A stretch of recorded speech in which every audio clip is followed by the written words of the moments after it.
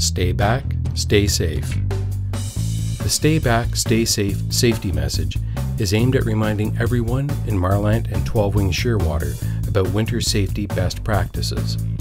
Sharing roads and sidewalks with snow clearing equipment can create special challenges for motorists and pedestrians. Both motorists and pedestrians are urged to take steps to adjust their behaviors to winter conditions and to think about safety first when in the vicinity of any snow clearing equipment and sanding trucks. After a snowfall or when snow and ice accumulations are high, the plowing and sanding crews need room to do their work. Be prepared when you encounter snow clearing equipment by following these three tips. Be patient. Allow additional travel time to get to destinations. Take alternative routes when possible. Stay back from spreader trucks and snowplows. Slow down. Leave plenty of room for the equipment to work.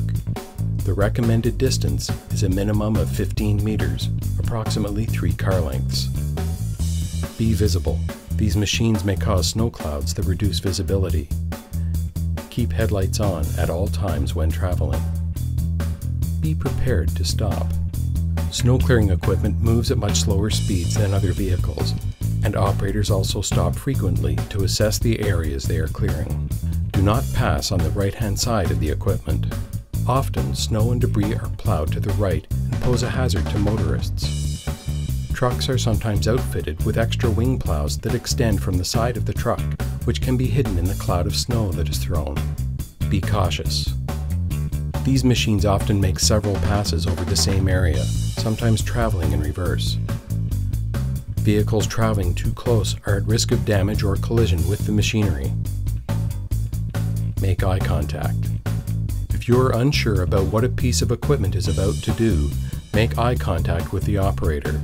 They may finish the task, or if safe to do so, they may stop and wave you through before continuing their work.